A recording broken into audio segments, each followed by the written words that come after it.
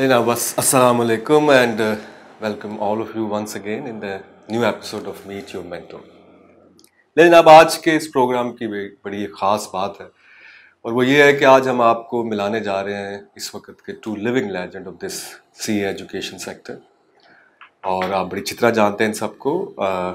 एक तो है जनाब अदनान साहब सर वेलकम थैंक यू और दूसरे हैं जनाब अशरफ रहमान साहब। थैंक यू सर पहली दफ़ा आज आप हमारे प्रोग्राम में आए। और I warmly I welcome you thank you on the platform of rise first of all और सबसे पहला सवाल सर आपसे तो ये पूछना है कि tell us something about your teaching journey बड़ी लंबी है हमें पता तो है लेकिन ज़रा बच्चों को बताएँ। कहाँ से शुरू हुआ कहाँ पर? मैंने अपने टीचिंग कैरियर का आगाज़ तो स्टूडेंट लाइफ से ही कर दिया था इन 1991 लेकिन प्रोफेशनल जो एजुकेशन है उसका मैंने सी से आगाज़ किया था पढ़ाना इन अ लीडिंग इंस्टीट्यूशंस और 1997 से आज तक 25 साल बनते हैं।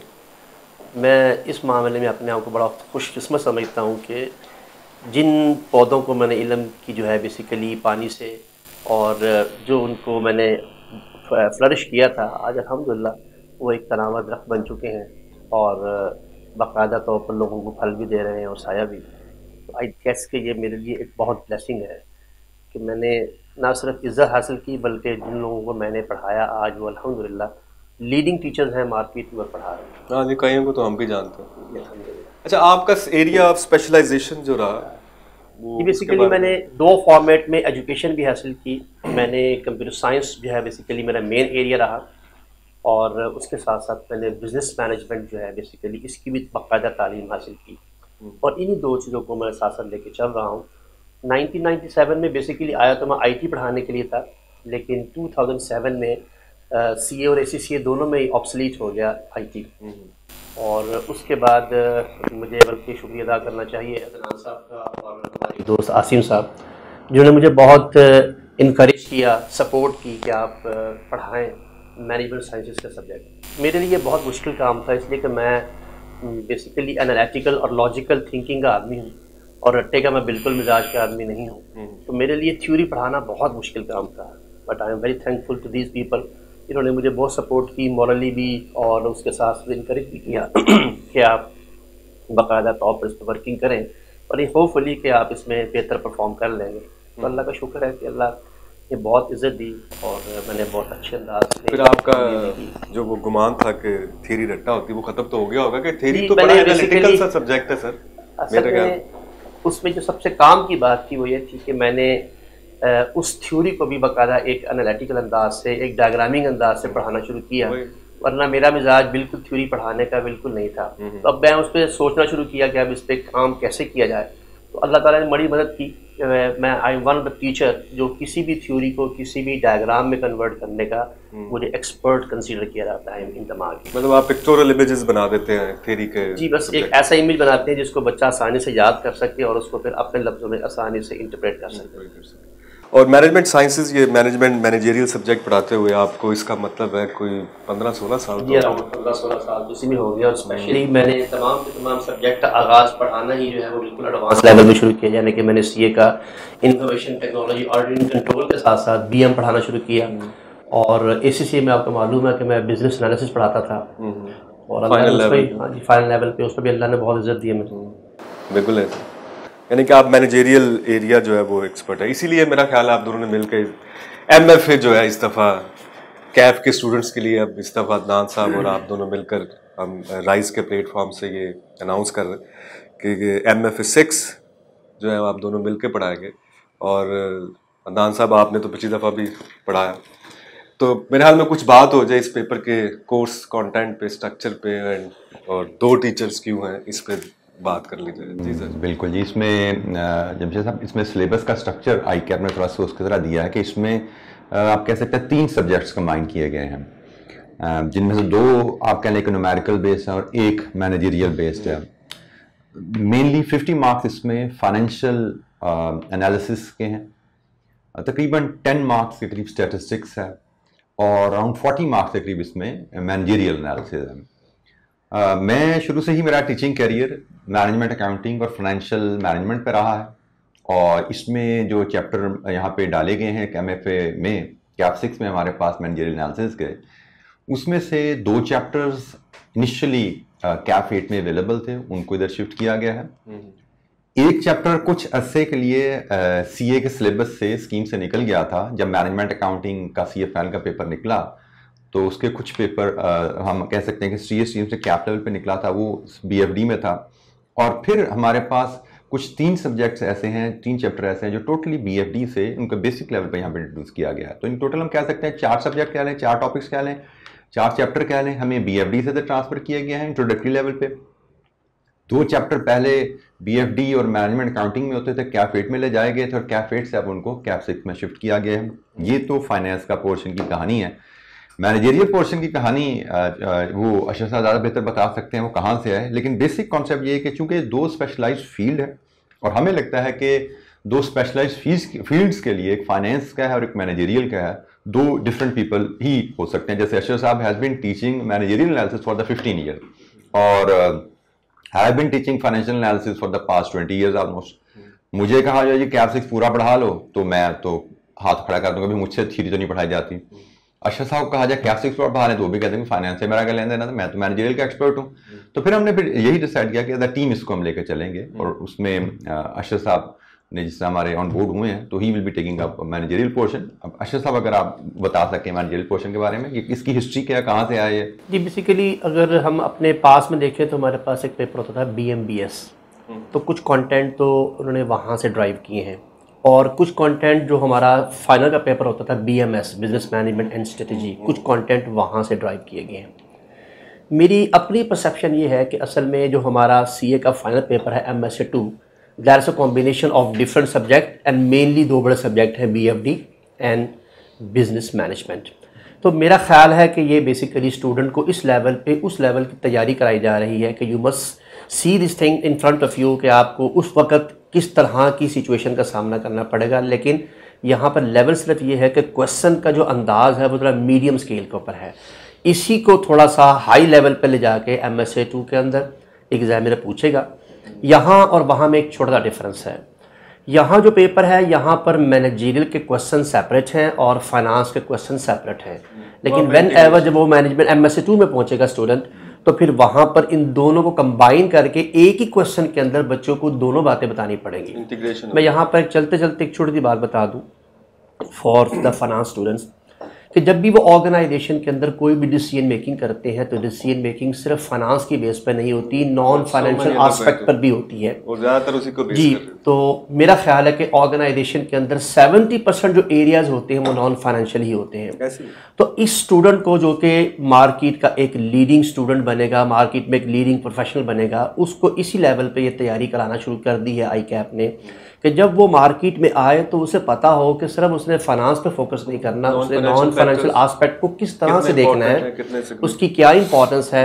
जब वो इनशाला अपना एरिया कंप्लीट करके चार्ट अकाउंटेंट बनेगा तो अल्लाह के हुक्म से वो दोनों एरियाज़ का एक्सपर्ट भी होगा और दोनों चीज़ों को हैंडल करने की और डिसीज़न मेकिंग की एक्सपर्टीज भी शामिल हो चुकी होगी। वेरी hmm, नाइस अच्छा अदरान साहब ये पेपर में जो मार्क्स एलोकेशन रही है एम की जो आई कैप ने गाइड किया वो ऐसे ही रहा इस अटैम्प्ट में पिछली दफ़ा भी और वैसे ही ऑलमोस्ट यही ग्रिड बन रही जी बिल्कुल। ये मेरे ख्याल में आई ने जब से ग्रिड्स वगैरह देनी शुरू की हैं अपनी स्कीम में 2015-16 से तब से तब से आई कैप जो है बड़ा स्ट्रिक्टली इनको फॉलो कर रहे हैं ग्रिड्स को। और मैं बच्चों को यही बताता रहता कि भाई अब आपके पास ग्रिड्स हैं ग्रिड्स का एक जो आपके लिए फ़ायदा भी है वो ये कि आपको पता है किस एरिया से कितने मार्क्स आने हैं। दूसरा एक नुकसान बच्चों के लिए जो बच्चे समझते हैं जिसका नुकसान कि आपके पास चॉइस खत्म हो जाती है। जो सिलेक्टिव स्टडी होती है, उसका रूम खत्म हो जाता है। तो आई के अपने पूरे सिलेबस को उसने बांट दिया कि हर सिलेबस में किसी न कहीं कंपोनेंट से कुछ ना कुछ मार्क्स ज़रूर आने हैं। और आई बड़ा उसको स्ट्रिक्टली फॉलो कर रहा है इस ग्रिड को। मतलब मुझे मुझे नहीं लगता कि मैंने कभी भी कोई वेरिएशन देखी मतलब एक्सेप्शन एक दो मार्क्स तो अपने खुद लिखा हुआ है पाँच दस परसेंट ऊपर नीचे हो सकता हैं but not more than that ये तो एक्सेप्टेबल है खुद बताया इतना होगा। उसको बड़ा स्ट्रिक्टली फॉलो किया जा रहा है आई से दैट मतलब अच्छी बात है लेकिन वो जो परसेप्शन थी पुरानी की आई कैप का इसे कुछ भी कर देता है हाँ, बिल्कुल लिखा हुआ है ग्रिड बच्चे अक्सर बिल्कुल स्ट्रिक्टली फॉलो होता है ग्रिड हम एनालिसिस हर पेपर के बाद एनालिसिस करते हैं उसको ग्रिड से मैच करते हैं और बिल्कुल उसके मुताबिक उसके मुताबिक उसके मुताबिक पेपर आ रहे हैं। हमारे। सही सही अच्छा जी एक और बड़ा इम्पोर्टेंट सवाल आपने लास्ट टाइम आपकी टीम में और सर थे। इस दफ़ा आप अशरफ साहब को साथ पढ़ा रहे हैं। इसकी कोई ख़ास वजह क्या रीज़न इसकी वजह सिर्फ़ ये है कि लास्ट टाइम अशरफ साहब हमारी टीम का मेंबर नहीं थे। दाहिद साहब माशाल्लाह बड़े हमारे बड़े सीनियर चार्ट अकाउंट हैं बड़े सीनियर टीचर हैं। लेकिन और बल्कि मैं तो उनको कहता हूँ एक हमारे तरह के ऑलराउंडर टीचर हैं। मतलब हमारे पास डिफरेंट सब्जेक्ट्स पढ़ाते रहे हैं अपने एजुकेशन कैरियर में उन्होंने अकाउंटिंग भी पढ़ाया हुआ है मैनेजमेंट अकाउंटिंग भी पढ़ाया हुआ है। मैनेजरियल सब्जेक्ट भी पढ़ाया हुआ क्यू एम भी पढ़ाया हुआ उन्होंने? तो माशा उनकी बड़ी वैरायटी ऑफ़ पोर्टफोलियो है। तो ज़ाहिर बात है जब हम लास्ट ईयर टीम सेटअप कर रहे थे तो he was a senior teacher amongst us and he was available to us so I we took him on board लेकिन इस सेशन में अलहमदिल्ला अशरफ साहब ने हमें ज्वाइन किया और जितना माशाल्लाह इनका एक्सपीरियंस है ना सिर्फ़ मैनेजरियल सब्जेक्ट का कैप सिक्स का मतलब कैप सिक्स भी ऑनलाइन प्लेटफॉर्म पे। माशाल्लाह जब से इंट्रोड्यूस हुआ पढ़ा रहे हैं। तो जितना इनका एक्सपीरियंस है तो इनके आने के बाद तो किसी और की हम जो कि हमने बेस्ट ऑफ़ द बेस्ट हमने ऑफ़र करनी होती है स्टूडेंट्स को तो इनके आने के बाद फिर भ्रूम नहीं बचता कि हम किसी और टीचर को साथ वो मौका दें। हमने हमने, क्योंकि हमने अपने जो लॉट है, उसमें जो मोस्ट एक्सपीरियंस और बेस्ट टीचर हैं, उसको सब्जेक्ट स्पेशलिस्ट उनको लेके आना है। और रशिया साहब, क्योंकि माशा सब्जेक्ट के इस डोमेन के माशाल्लाह most experience tutor in Lahore के मैं तो कहूँगा पाकिस्तान में माशाल्लाह सी एजुकेशन में माशा इतने एक्सपीरियंस है। बल्कि लोगों को अक्सर पता नहीं मैंने भी इनसे क्लासरूम में पढ़ा नाइनटी नाइन में। अच्छा अच्छा तो सी ए फाइनल की क्लासेज में मतलब हमारे कुछ एक चैप्टर थे बी एफ़ डी के सब्जेक्ट में आई टी के कुछ चैप्टर होते थे। तो अशर साहब मेरे उस्ताद वहाँ पे रहे हुए हैं और और उससे भी अलावा पीछे ताल्लुक है जो हम जो कनेक्टेड नहीं था ताल्लुक था ये मेरे स्कूल सीनियर भी रहे हैं। अच्छा, अच्छा, इनको मैंने काफ़ी ऐसे बाद मैं देखता था इनको शक्ल में जानी पहचानी लगती थी मैं सोचता था कहाँ देखा है कहाँ देखा फिर ज़िक्र हुआ तो पता लगा कि हमारे स्कूल में चूँकि माशाल्लाह हाफिज साहब हैं तलावत बहुत अच्छी करते हैं। तो स्कूल में हम मैं इनको पाँच छः पाँच छः साल इनको हमारी असम्बली में जो तलावत हुआ करती थी वो अशर साहब करते होते थे। तो वहाँ से उनका चेहरा जो है मेरे जहन में था और लेकिन बाद में बाद में दखलदारी बात है इतनी अरसे बाद दस बारह साल पे देखा उनको हाँ। तो पहचानने में देखो तो पहचानने में कुछ अर्सा लग गया इनको हाँ। लेकिन ये तो माशाल्लाह इतना एक्सपीरियंस उनका था तो जब ये हमारे टीम में है तो मैनेजरियल सब्जेक्ट्स में लीड ये ना करें ये नहीं हो सकता इसका मतलब वो जो पौधे जिनका आप ज़िक्र कर रहे थे वो ये पौधा मेरे बिल्कुल लेकिन ये पौधे वो पौधे हैं सर कि जो बाकायदा तौर पर उम्दा फल और उम्दा साया दे हाँ, रहे हैं इनका साया जो है बहुत सारे लोग तो ये समझ लीजिए कि नो डाउट जैसे हमारे दीन के अंदर ये है ना कि आपने किसी को नेकी की दावत दी तो जब वो नेकी करता है तो दोनों को बेनिफिट मिलता है। तो ये जो जिन हजरात को अपना साया दे रहे हैं फल दे रहे हैं उसमें हमारा हिस्सा भी है बगैर किसी मेहनत के। तो ये दीन की नस्बत से हमें ये भी एक एडवांटेज है बहुत बड़ा। हम्म। मैं यहाँ चलते चलते एक बहुत इंपॉर्टेंट बात शेयर करना चाहूँगा। और वो है हमारे इस सब्जेक्ट से रेलेवेंट के यहाँ पर बच्चों ने जो हमारा पेपर का पार्ट मेरा पार्ट पढ़ना होता है मैनेजेरियल उस पर कुछ थोड़े से प्रॉब्लम्स हैं वो प्रॉब्लम ये है कि बच्चे आ, मेरे इस एरिया को जो कि मैनेजेरियल एरिया है वो समझते हैं कि शायद इसको लगाना है रट्टा हम्म। इसको बस मेमोराइज करना है क्रैमिंग करनी है और उसके बाद जाके एग्ज़ाम में ऐसे आ जाना है हम्म। मैं बहुत हम्बर रिक्वेस्ट करूँगा तमाम के तमाम स्टूडेंट से कि असल में मैंने जैसे पहले बताया कि ये बेसिकली एम एस टू की तैयारी का पहला स्टेप है। फाउंडेशन है तो अगर इन बच्चों को इस लेवल पे बाकायदा तौर पर एनालिटिकल और लॉजिकल वे से ये चीज़ समझ में आने की प्रैक्टिस नहीं हुई तो ना सिर्फ़ इस पेपर में फेलिंग का चांस बढ़ेगा बल्कि आगे जाके शायद एम एस टू में वो शायद बिल्कुल भी इसको परफॉर्म नहीं कर पाएँगे। हम्म। तो उनसे एक हम्बर रिक्वेस्ट ये है कि ये सब्जेक्ट जो है वो समझने वाला सब्जेक्ट है इसको थ्योरी मत समझिए ये थ्योरी नहीं है ये बाकायदा अप्लाइड है। बल्कि इससे बहुत आसान हल ये है कि वो इस मरतबा का पेपर उठा के देख लें जो मार्च 2022 में आया है। उस पेपर से उन्हें आइडिया हो जाएगा कि एग्जामिनर जो है 40 मार्क्स का नो डाउट अपने ग्रेड में जैसे दनान साहब ने बताया कि एग्जामिनर ने बहुत हार्ड अप्रोच इस्तेमाल की है कि उसने 40 परसेंट जो मैंने जेल पार्ट था उसको 40 परसेंट में ही रखा। हम्म। लेकिन उस 40 परसेंट में अगर मैं 30 मार्क्स या 35 मार्क्स देखूँ तो वो 100 परसेंट अप्लाइड थे। सिर्फ़ पाँच नंबर का पेपर ऐसा था जिसमें एग्जामिनर ने थोड़ी सी छूट दी है स्टूडेंट को कि चले जो उन्होंने थोड़ा सा याद किया लेकिन उसको भी अपने लफ्ज़ों में लिखना था। उसको भी ऐसा नहीं कि जैसे किताब का एक पैराग्राफ पूरा उठाया और वहाँ कॉपी पेस्ट नहीं था। कॉपी पेस्ट बिल्कुल नहीं था। हम्म। उसमें भी लिटिल बिट एप्लीकेशन थी। सिर्फ़ मैं ये कह सकता हूँ कि सर एप्लीकेशन का जो परसेंटेज थी वो कम थी लेकिन ऑलमोस्ट वो भी अप्लाइड ही था। हम्म। लेकिन बाकी जो थे वो तो प्योरली अप्लाइड क्वेश्चन थे। और जिन स्टूडेंट ने सर किताबें रटा रट के गए हुए थे मेरा ख्याल है उनको तो बहुत प्रॉब्लम फेस हुई होगी। और जिन स्टूडेंट ने वाकई टीचर की जो उन्होंने इंस्ट्रक्शन दी हुई है उसको तैयार किया हुआ था इन उन स्टूडेंट को रिज़ल्ट भी अच्छे आएँगे और वो अच्छा इंशाल्लाह परफॉर्म भी करेंगे। सर ये एक बड़ा इशू है स्टूडेंट्स के साथ कि जब कैलकुलेशन और थेरी कैलकुलेशन और थेरी मुझे ये लगता है कि थेरी इवॉल्व भी कैलकुलेशन से होती है। ऐसे ही है सर।